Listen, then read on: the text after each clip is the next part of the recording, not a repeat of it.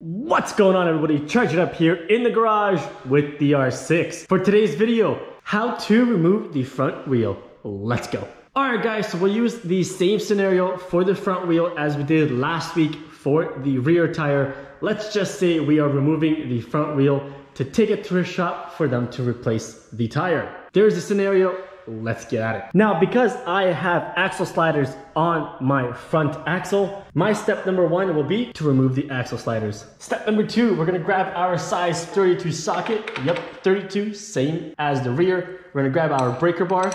We're gonna go ahead and loosen our axle nut.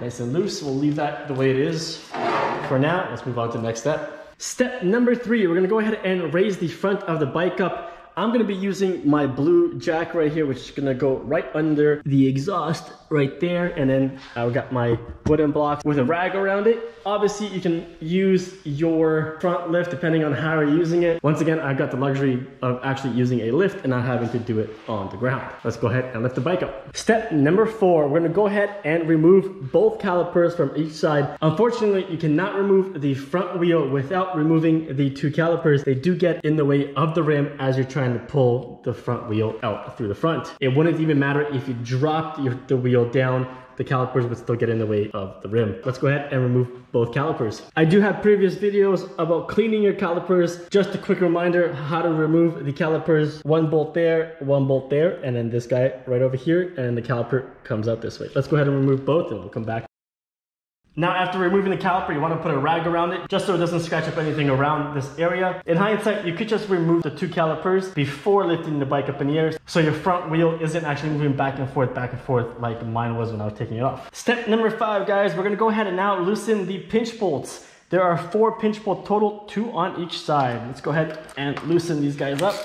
You don't have to take these guys out far. I like to take them out far enough just so you don't reach any sort of resistance. Go ahead and do the other side as well. All right, pinch bolts are loose. Step number six, we're gonna go ahead and now remove the axle nuts and put that aside. And now we're going to remove the axle.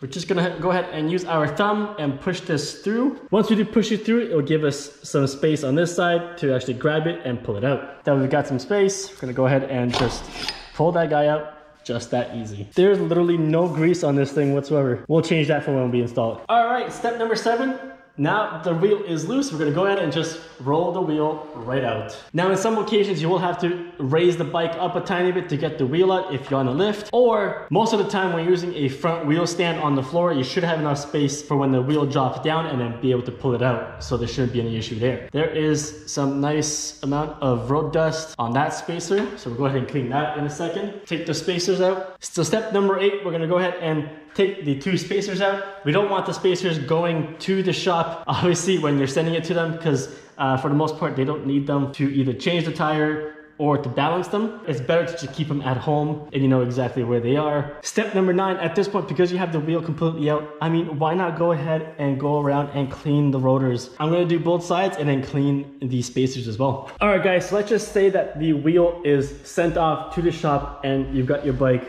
like so. This is actually a really good time to take a look at your calipers and your brake pads. I recently did a video on how to clean your calipers, so everything is actually pretty clean. I'm surprised after putting another thousand kilometers on it or so. Super happy with that, that's still nice and clean. But definitely a good time to take a look and obviously to inspect your brake pads to see how things are going there. Okay, let's say now the wheel is back from the shop brand new tire, you're ready to put the wheel back on. With the front wheel, how can you tell which side goes to which side? Now there's three ways that you can tell. Number one, you can use the rotational direction on the tire in this case, it's showing this way. That would be incorrect. Now, why this isn't a 100% telltale of which way to go? Well, sometimes shops like to use temps or apprentices or guys that are just part-time and not really mechanics to change tires just to make things go quicker. They sometimes put the tires on backwards and I've seen this numerous times. I've been at a shop where it's happened. I have personally put tires on backwards because you're rushing. It's just the nature of the business. So that's actually not a 100% way of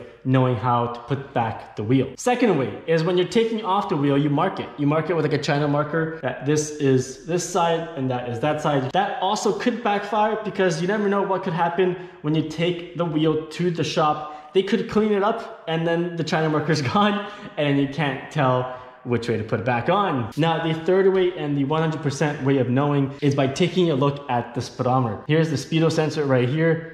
And as you can tell right now, there's nothing for it to actually read on this side. So if I turn this back the other way, here's the reading that it takes and then it shows you the speed that you're doing. I, for the most part, and don't get me wrong, it varies from bike to bike, but I, for the most part, use the speedo to gauge how the wheel goes back on the bike, especially on R6s. All right, time to reinstall the wheel. We're gonna go ahead and grab our nice and clean spacers, put them back in their place, slowly push these back into place. There we go. Now, as I mentioned previously, this is bone dry. There's absolutely no grease on the front axle. I personally like putting grease on the axles. It just makes it a lot easier for the next time that you do have to take it off. And uh, yeah, I'm actually just a little weird. Like there was literally absolutely no grease on the front axle coming from factory. All right, the axle is nice and greased. As you can see, I've got my wheel nice and lined up because I was able to lower the bike to line it up perfectly. So I can literally take the axle and put it right into its hole. All right, we're gonna grab our axle nut. We're gonna go ahead and put that on hand tight. I'm just I'm just doing a hand tight for now, just to pull the axle forward. We're gonna grab our size six Allen. We're gonna go ahead and now tighten the pinch bolts.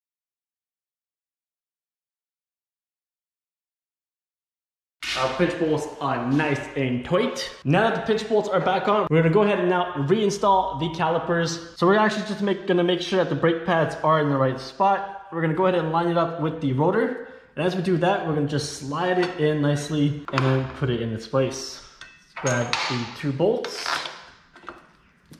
One, two. So there's one thing that I do like doing when it comes to the actual calipers. I leave the bolts actually fairly loose. What I like doing is this. I'm gonna go ahead and actually spin the wheel and hit the front brake. I'm gonna hit the front brake. This seats the brake pads to the rotors. And now that I'm holding it, I'm gonna come back here and I'm gonna tighten them down. As I'm holding the brake, I'm gonna tighten it down. I'm gonna go ahead and do that on the other side as well. But that's how I actually like doing the caliper bolts uh, on the front wheel.